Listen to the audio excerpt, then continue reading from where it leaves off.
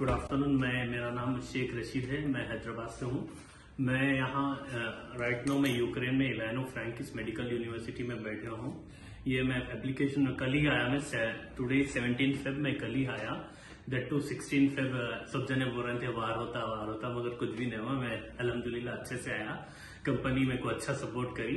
अच्छे से फील अच्छा हैप्पी वे में आए हम लोग। अच्छा खाते पीते आए हँसते हुए।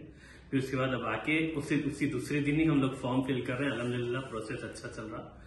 जी, अभी अगर जो भी आना चाहते हैं, आइए, वैसा कुछ भी नहीं है। सिचुएशन सब अच्छा है अलहमदिल्ला ठीक है thank you myself Mantasha मैं दिल्ली से हूँ और मैंने इवेनो नेशनल यूनिवर्सिटी में अपना एडमिशन लिया यूरेशिया के थ्रू स्टार्टिंग में मुझे लग रहा था कि पता नहीं मेरा एडमिशन होगा या नहीं होगा, बहुत ज़्यादा मैं डरी भी हुई थी क्योंकि प्रोसेस चल रहा था, क्योंकि सब बोल रहे थे यहाँ पर बहुत ज़्यादा वॉर वगैरह चल रहा है तो इसलिए घर वाले भी बहुत ज़्यादा डरे हुए थे।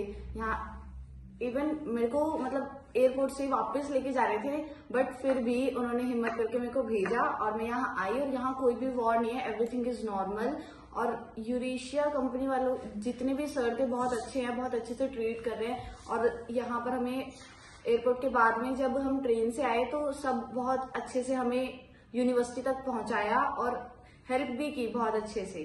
Thank you so much Eurasia